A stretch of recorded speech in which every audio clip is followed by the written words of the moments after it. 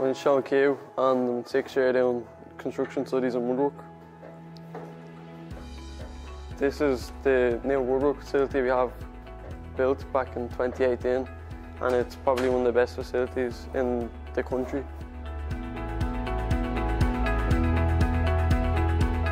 Over here we have the first year uh, projects. The first years we build model cars that they'd race at the end of the year and the first place would win this trophy. Here we have some of the third year projects for our junior cert and two lads out of third year class are doing their projects here. Over here is uh, some of the models that the Leaving Cert Construction Studies uh, students made. Here's Harry Gardner, who's in the middle of doing his project for his Leaving Cert.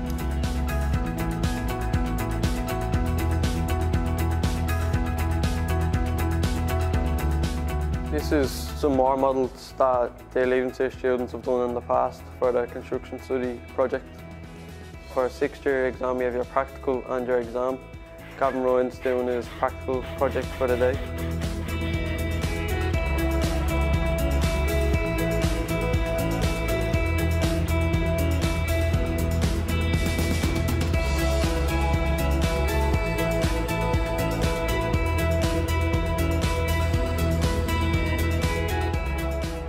Hi, my name is Philip Ardiff. I'm a technology teacher here in Chanel College.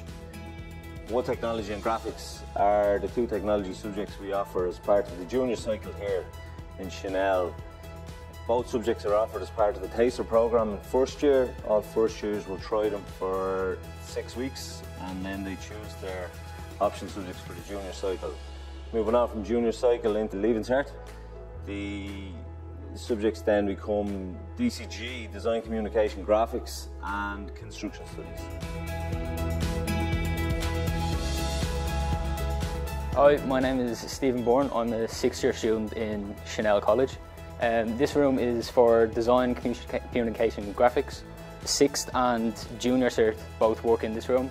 Um, some of the images on the screens are from sixth year students and their projects. Some of the lads here are doing images that are from junior cert exams and they're just demonstrating how you go about doing it.